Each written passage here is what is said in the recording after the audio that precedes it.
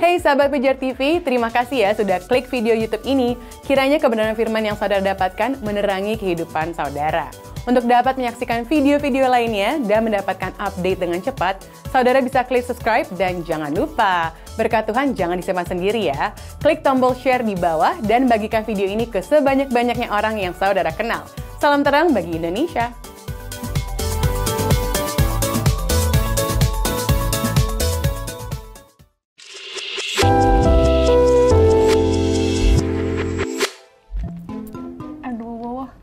Kok udah dibedakin tapi masih hitam ya? Nggak putih-putih deh. Kamu lagi apa sih dari tadi kok kayaknya nggak selesai-selesai? Ya, Muka kayak cuma satu. Aku mau pacaran kak, jadi harus Ampun, harus dipoles. bagus nih makeupnya. Waduh. Biar langgeng kak pacarannya.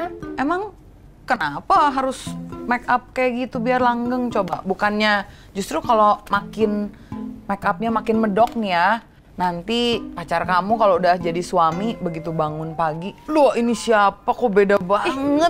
Emang medok banget kak aku kak? Hmm, ya cantik sih sebetulnya, tapi, mungkin bisa agak tone down sedikit lah. Oh yaudah deh Iya aku kan? hapus deh.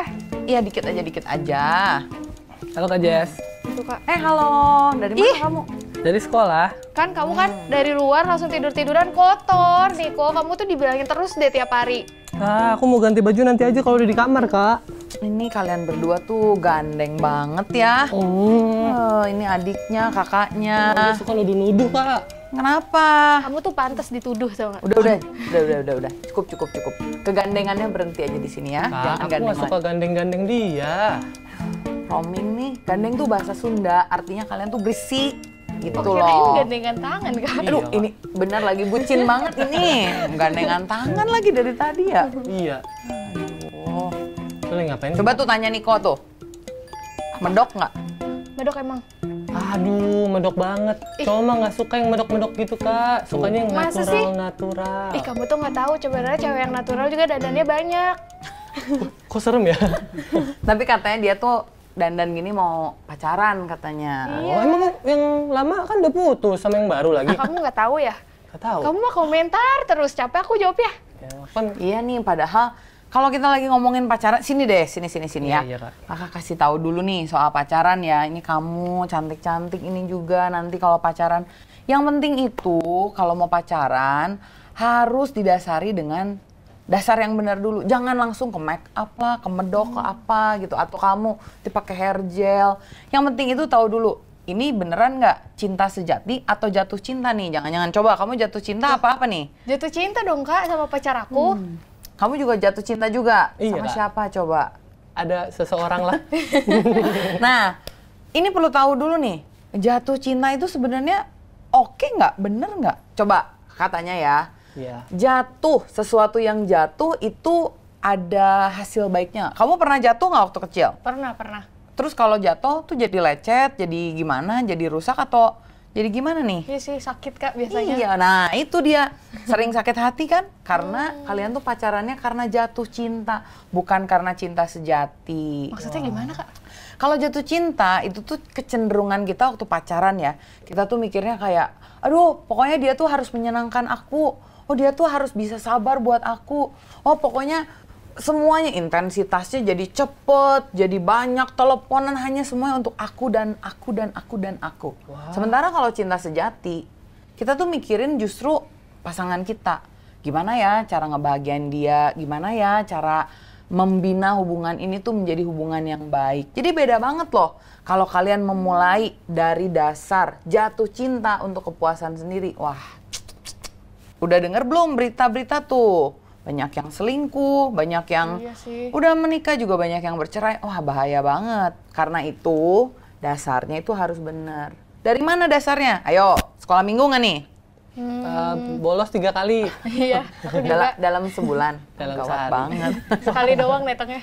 Nah, kalau kita kan belajar di Alkitab tuh, ada 1 Korintus 13. Itu adalah ayat yang harus kamu kuasai dulu. Ya. Sebelum kamu membina hubungan romantis ya dengan orang-orang lain, bahkan dengan teman-teman kita, keluarga kita juga kalau kita benar-benar mau mengasihi mereka, 1 Korintus 13 tuh harus dibaca bolak-balik bolak. Oke, aku tes nih kamu yang sering bolos ya. Iya. 1 Korintus 13 isinya apa? Eh, Tentang kak kasih. kasih, Kasih itu sa. sabar, Terus apa lagi? murah hati. Murah hati. Terus Nggak sombong. Gak sombong, tidak egois, memikirkan orang lain, mengampuni. Semua kasih itu adalah kasih yang seharusnya dipraktekkan dalam kehidupan kita bergaul dengan orang lain, termasuk dalam pacaran. Makanya kalau pacaran itu kalau kita mengasihi dia, kita itu harus sabar. Kamu sabar nggak? Pacarmu sabar nggak nungguin kamu? Ayo. Enggak sih, maunya ketemu terus, Kak. Aduh, Oh, iya, iya. iya Oh, ini aduh. bucin ini. Nah makanya kita harus tahu benar-benar dulu nih fondasi di dalam berpacaran. Pilih pasangan hidup itu sesuatu yang penting banget nih untuk kita pikirin. Gimana waktu kamu cari pacar? Kriterianya apa? Ganteng. Ganteng. Kamu Cantik. cantik. Tahu nggak satu kali ya firman Tuhan bilang kegantengan, kecantikan itu akan sirna. Nanti sama kakek-kakek mau nggak? Iya. Nenek-nenek. Ayo loh. Kalau Nah. umur aku sekarang belum mau kak. Kamu nggak mau sama nenek-nenek. Iya. Tapi siapa pun itu yang jadian sama kamu nanti bisa jadi nenek-nenek Iya. loh. Nah makanya kalau kita cari pasangan hidup ya itu tuh harus bener-bener berpikir dengan baik. Jangan gerasak gerusuk ya. Jangan eh, karena oh kayaknya lagi ngetren nih eh, punya pacar. Kalian jadi pengen punya pacar. Kak Jess sharing lah ya. Ada empat nih kunci untuk cari pasangan hidup ya eh, kalau kita bilang ya kalau kita mau cari pasangan yang terbaik ini kakak singkatnya pakai UNIK nih Unik. Ha-ha. mau dicatat nggak nih Catat-catat, Kak. Di sini ya berarti catatnya ya Iya. U N I K K.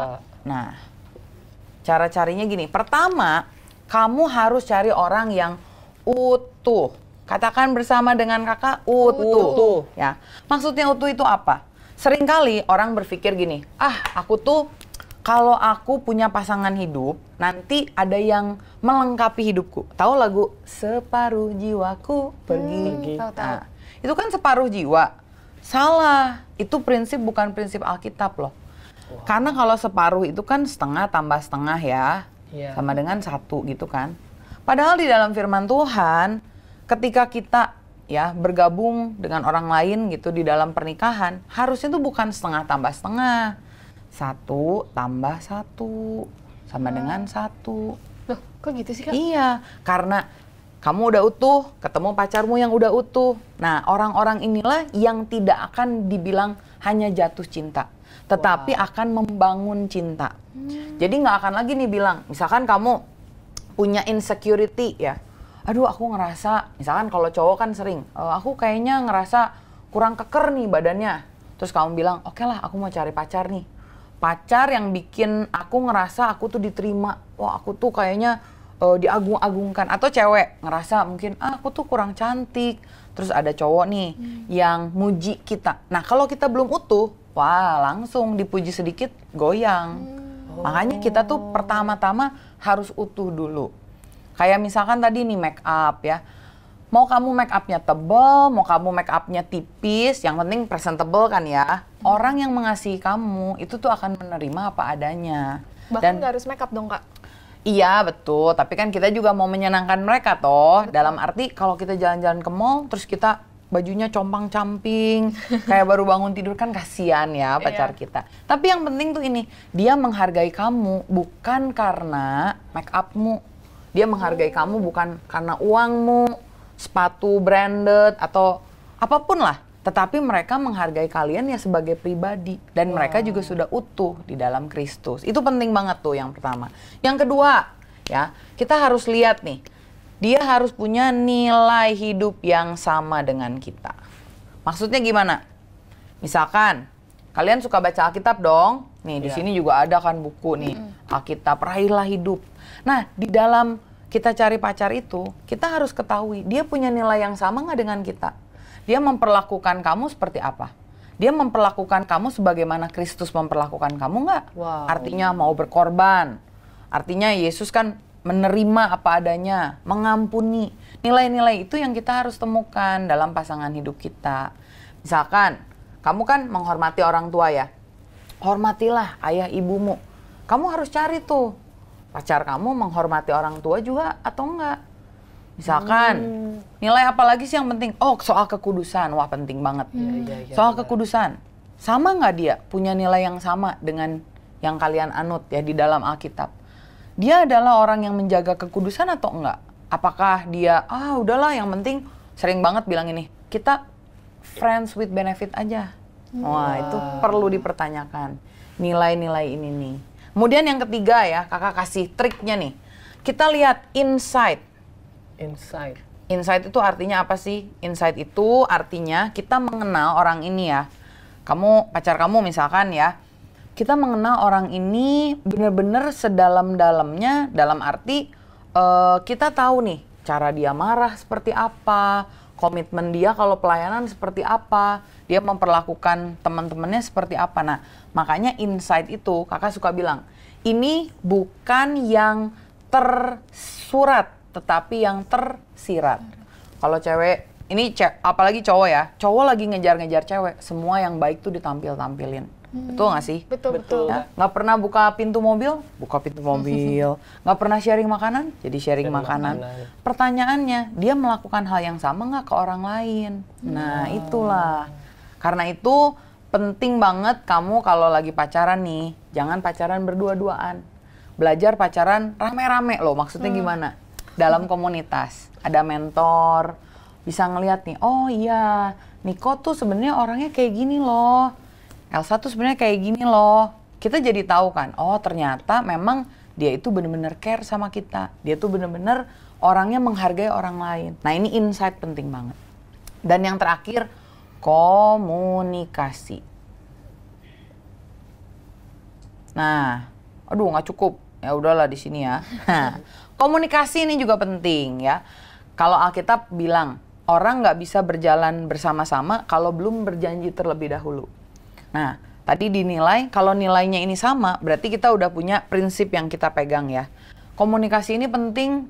Caranya gimana? Kita membangun hubungan dengan berbicara. Ya makanya kalau pacaran tuh jangan aduh ke misalkan ke bioskop ya atau banyak makan ya boleh sih sekali-kali tapi penting loh untuk komunikasi ini ada kesemua unik ini nggak bisa dilakukan kalau orang tersebut niatnya hanya jatuh cinta. Tapi kalau orang tersebut niatnya membangun cinta nah ini sesuatu yang berbeda. Kakak selalu punya prinsip begini ya.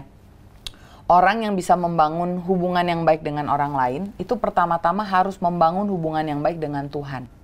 Utuh ini ya, utuh ini dia hanya bisa temukan kalau dia ada di dalam Tuhan Yesus Kristus. Karena kalau enggak mungkin dia dikecewakan, mungkin keadaannya yang tidak baik. Dia merasa selalu ada yang kurang dalam hidupnya. Ini harus pertama-tama ketemu dulu dengan cinta kasih Tuhan Yesus. Kalau dia udah bisa mengasihi Tuhan Yesus, baru dia bisa mengasihi sesama, termasuk kamu sebagai pacarnya. Kemudian kalau soal nilai ini ya, nilai ini didapatnya dari mana? Alkitab. Kalau dia nggak baca Alkitab, nilainya beda dong sama kita. Iya benar. Betul nggak? Betul, betul. Kalau insight ini dari mana? Dari komunitas. Oh, jadi mau cari pacar tuh bener-bener rumit loh. Tidak seperti kecelakaan gitu ya. Wah, ketika bertemu terus kena semerbak wangi parfum langsung wah kayaknya gimana banget sama dia. Komunikasi juga sama. Semua ini dibangun ya harus dengan prinsip-prinsip yang benar. Jadi balik lagi nih, tadi ya Elsa, udah bagus banget kamu mau tampil lebih baik. Tapi ingat, bukan itu prinsip dari pacaran. Ya, jadi belajarlah untuk punya cinta sejati. Pertama-tama bangun hubungan dengan Tuhan dari sisi kamunya, dari sisi dianya. Belajar menerima dirinya sudah pulih, belajar membangun hubungan dengan keluarga, dengan teman, dengan komunitas, baru bisa membangun fondasi yang tepat untuk kita pacaran. Sama kayak kue wedding, pernah lihat? Ya. Kue wedding itu kan bentuknya gini ya, layer satu, bener nggak? Layer Iya, dua, layer tiga, layer empat, baru di sini ada teng teng teneng gitu kan ya. Ini anggap yang ini ceweknya, yang ini cowoknya, gitu kan ya? Iya. Nah ini yang pertama ini adalah hubungan dengan Tuhan. Wow. Yang kedua ini hubungan dengan keluarga. ada loh kakak punya orang yang sempat sharing gitu ya dia itu benci banget sama keluarganya dan dia aduh bener-bener kayak nungguin banget waktu di mana dia bisa menikah sama orang lain. Kenapa coba? Karena dia bilang aduh pusing banget nih di keluarga. Udah mendingan cari suami keluar dari keluarga ini bisa bangun keluarga sendiri. Tapi pertanyaannya kalau kita keluarga sama keluarga kita aja hubungannya nggak baik nih. Bikin keluarga sendiri apakah pasti jauh lebih baik? Kan enggak. Betul, betul. sayang tuh umur masih 20-an tapi sudah bercerai. Karena alasan itu. Dia belum bisa membangun hubungan yang baik dengan Tuhan dengan keluarga. Eh udah mulai mau pacaran mau menikah. Yang ketiga tuh dengan siapa? Misalkan dengan teman-temannya ya.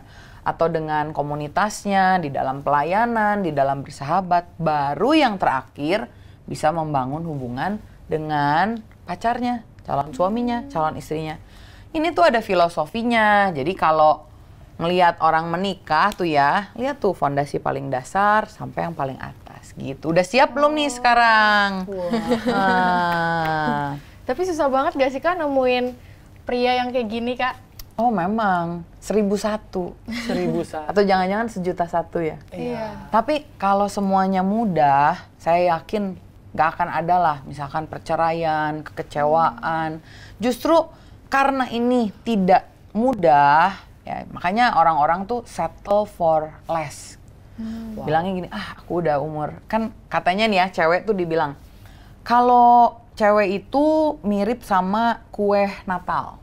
Maksudnya gimana? Kenapa tuh? Kue Natal itu ya kalau kan kita Natalan 25 Desember toh Iya. Oh. dari 18, 19, 20 tanggal-tanggal segitu tuh masih laku tuh kue-kue Natal kan.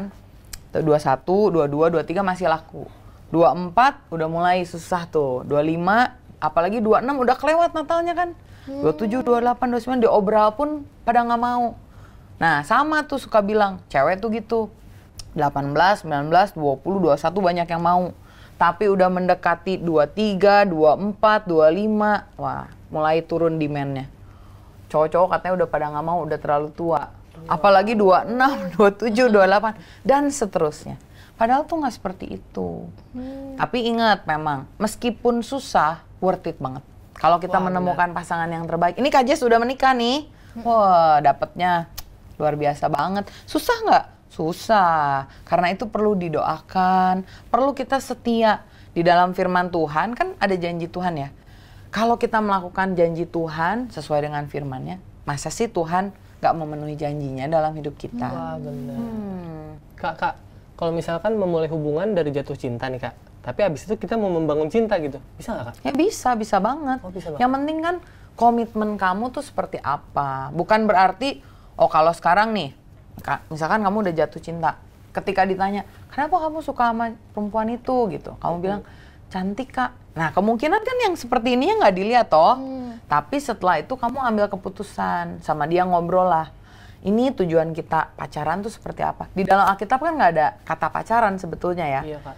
Tapi bukan berarti, oh yaudah kalau nggak ada pacaran, udah langsung aja menikah. Ya nggak seperti itu juga. Cuman tujuan dari pacaran ini perlu kita tahu nih sama-sama. Pernah tanya nggak sama pacarnya? Nanti kalau misalkan udah menikah, eh, rencana kerja di mana? Seperti apa maunya?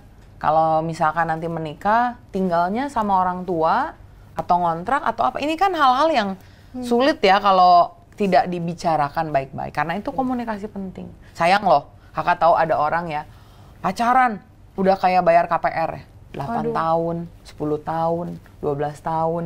Tapi ini nggak pernah dikerjain, akhirnya putus. Sayang. Hmm.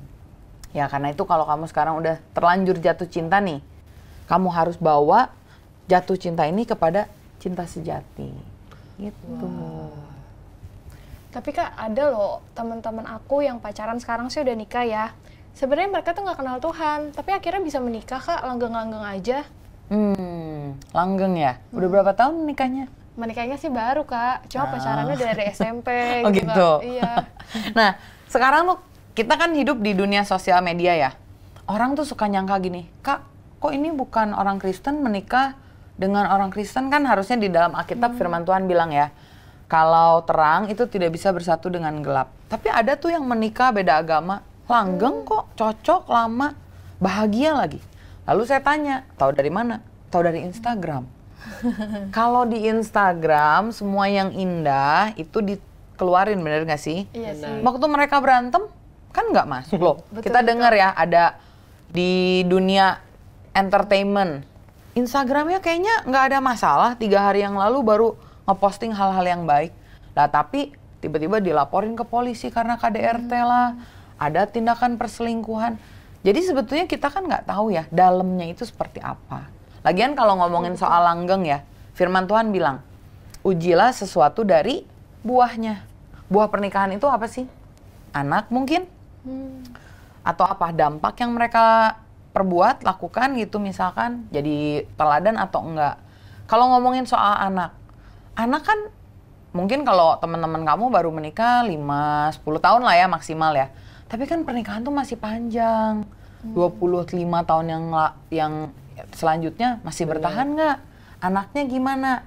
Dulu pernah ada nih. Nggak tahu ya kalian tahu nggak nih em, tokohnya ya. Ada artis lah. Satu orang Kristen, satu non Kristen ya. Jadi satu kenal Yesus, satu enggak. Menikah dan lama tuh. Pernikahannya panjang dan memang setiap kali ngomong gitu tapi kak si artis ini kok gini gitu bisa. Tapi kalau kita ngomong sekarang mereka udah bercerai. Jadi buah dari pernikahan itu nggak bisa tuh kita cuma bilang langgeng berapa tahun pernikahan? Aduh lima tahun. Lima tahun tuh belum lama. Pacaran lima tahun lama loh tapi kalau pernikahan itu tuh baru Iya. seumur jagung Wah. Ya, jadi perlu dipikirin sekali lagi. Balik lagi ke Alkitab. Apa yang Alkitab bilang itu adalah kebenaran. Jadi kita pegang Alkitab. Kalau kita ngelihat observasi gini doang ya, wah itu bisa berbahaya lah. Iya, Hmm. benar, Kak. Gak mau coba-coba kan? betul betul. Tapi kak, kalau misalnya ada beberapa orang yang nikah karena dijodohin nih kak sama orang tua, Hmm. Iya, Kak. apakah kalau Tuhan sendiri itu merestui hubungan kayak gitu kak? Padahal berarti kan kalau dijodohin sama orang tua, belum tentu kitanya udah kenal, komunikasinya baik kan belum tentu. Hmm. Nah, aku pernah tanya nih ya. Kebetulan kan kita udah nggak tinggal di zaman Siti Nurbaya ya. Benar. Tapi di India itu orang-orang tuh dinikahkan eh, karena perjodohan tuh banyak sekali.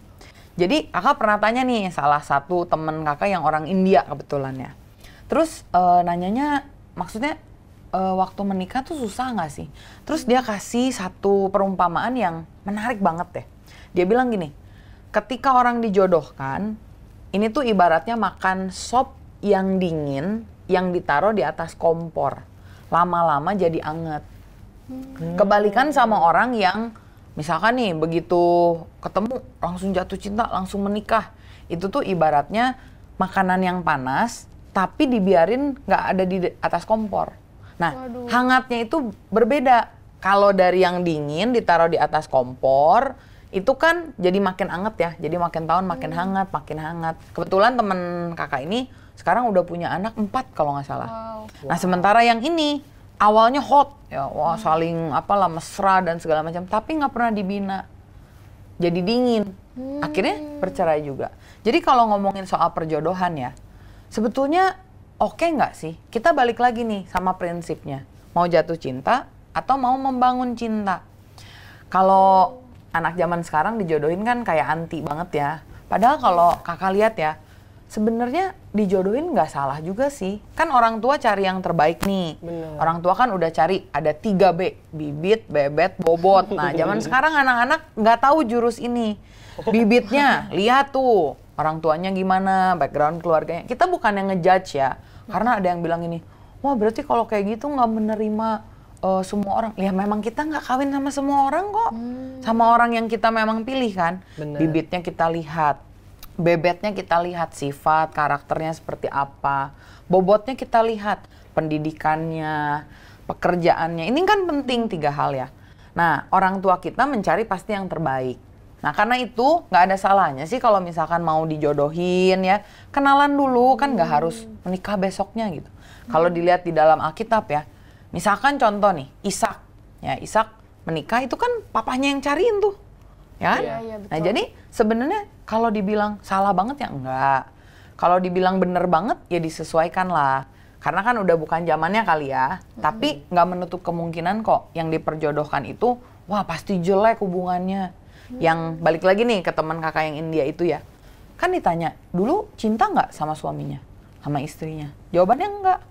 Tapi karena kita tahu ini direstui keluarga dan juga nggak boleh bercerai kan. Jadi dia bilang ini ya udahlah karena udah harus menerima dia apa adanya, setiap hari dia belajar mencintai. Wow. Belajar mengetahui apa yang disukai, belajar bisa enjoy. Eh lama-lama enjoy. Nah, jadi oke juga sih. Kamu mau dijodohin? Nggak mau sih kak. Kak, kak, kalau tentang LDR kak, long Hmm. distance relationship kak, menurut kakak itu bisa nggak sih kak memperkuat dasar kita untuk ngebangun hubungan gitu kak? Nah, kalau ngomongin LDR ya, kebetulan Kak Jess juga dulu LDR nih. Wah. Ya. Tapi inti dari LDR tuh apa sih? Harus ada komitmen. LDR tuh mau sampai kapan? Ya. Kalau enggak, itu kayak digantung dong. Kasihan banget gitu digantung ya. Kayak jemuran aja. Jadi harus ada, misalkan contoh nih. Anggap kalian ya, eh, sekarang kan zamannya eh, kerja ke luar negeri. Mungkin ada kesempatan. Oke boleh nih. Misalkan eh, selama 2 tahun, selama tiga tahun menikah, eh, eh, sebelum menikah ya. Kalau udah menikah sebaiknya jangan LDR. Kalau lagi pacaran, LDR boleh sambil terus di apa ya, di review gitu ya. Cuman memang kalau LDR agak susahnya gini. Nah balik lagi ke yang ini ya, cari insight ini sulit. Karena kenapa? Kan kita nggak tahu dia temenan sama siapa, Iya, dia memperlakukan orang lain seperti apa, di kerjaannya dia dia ngumpulin tugas atau kerjaan telat atau enggak kan kita nggak tahu. Jadi butuh extra effort nih. Kalau Niko mau pacaran misalkan ya sama orang di luar negeri gitu ya, itu harus bener-bener harus banyak doa, minta Tuhan menyingkapkan nih. Karena kan balik lagi ya, kalau kita lagi pacaran pasti yang bagus-bagusnya dong yang ditampilin bener nggak sih? Benar, benar. Kalau lagi Niko misalkan marah, ceweknya marah. Kalau lagi empet gitu ah udahlah matiin aja HP-nya. Terus nanti telepon lagi tuh udah uh, fresh, udah udah udah siap gitu kan, baru ngomong kan nggak ketahuan tuh waktu dia nangis, Iya, bener. banting piring enggak, misalkan peliharaan kucingnya diapain kan kita nggak tahu. Iya, iya. Nah ini masalahnya insight ini yang susah. Komunikasi juga jadi susah. Ngobrol paling berapa lama sih? Oh, untungnya sekarang udah ada video call. Ya, jadi oke lah, masih lebih bisa.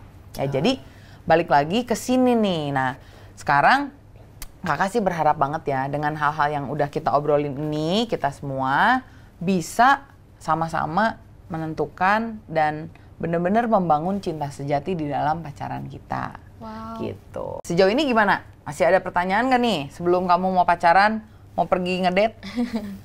Aman kak, aku Aman, Kak? udah. aman. Sebenarnya tinggal dipraktekin aja ya. Nah, juga buat sahabat, kita udah belajar hari ini tentang cinta sejati yang perlu kita miliki bersama dengan pasangan kita. Cinta sejati yang benar adalah yang kita dasarkan pada kasih Tuhan. Karena Tuhan Yesus sudah jadi teladan buat kita, memberi kita contoh ya bagaimana kita mengasihi orang lain. Sebagaimana Tuhan Yesus mengorbankan dirinya di atas kayu salib, ketika kita membangun hubungan, kita juga harus mau untuk berkorban buat orang lain. Nah, sudahkah kita merenungkan dan menjadikan hidup kita bergaya hidup kasih Tuhan terlebih dahulu sebelum kita memutuskan untuk pacaran? Teman-teman tentu lebih banyak bisa belajar ya bersama kami semua. Caranya gimana? Kalian bisa menghubungi nomor WA yang tertera di layar kaca Anda nih. Kemudian kita bisa saling berdiskusi dan juga buat para sahabat yang nggak punya komunitas. Kemudian pengen, wah saling tanya dengan satu dengan yang lain. Sahabat bisa coba klik ya form link yang ada di sini juga QR code yang tertera di layar. Jadi tinggal di scan dan dari situ sahabat juga memiliki kesempatan nih untuk mendapatkan Alkitab. Ini keren banget Alkitab namanya Alkitab Raihlah Hidup. Ini dikasihin secara gratis. Di sini ada penuntun untuk kita bisa baca Alkitab dengan baik dan juga kalian bisa download aplikasi di handphone kalian namanya Reach for Life Indonesia. Jadi Reach for huruf 4, angka 4 ya, Live Indonesia secara gratis bisa di iOS ataupun di Android. Nah, ini bisa membantu setiap dari kita untuk belajar firman Tuhan lebih dalam di dalam komunitas sahabat. Nah, bahkan Alkitab ini juga diperlengkapi dengan modul dan bahan pembahasan yang membantu setiap pemimpin dan anggota kelompok menjadi mentor yang baik. Jadi kamu nggak perlu kebingungan lagi nih kalau ada anggota komunitasmu yang kasih pertanyaan atau mungkin yang kamu rasa sulit karena Alkitab Raihlah Hidup ini bisa membantu untuk kamu menjawab pertanyaan-pertanyaan tadi. So, sampai ketemu ya di episode selanjutnya. Raihlah hidup, pilihan ada di tanganmu.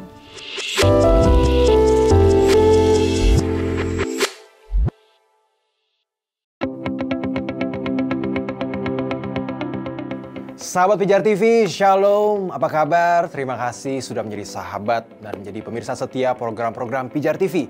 Kami sungguh rindu agar saudara bukan saja diberkati dengan menyaksikan program-program ini, tapi juga dapat berinteraksi dengan kami untuk berdiskusi dan bahkan didoakan melalui WhatsApp dan telepon yang tertera di layar kaca ini.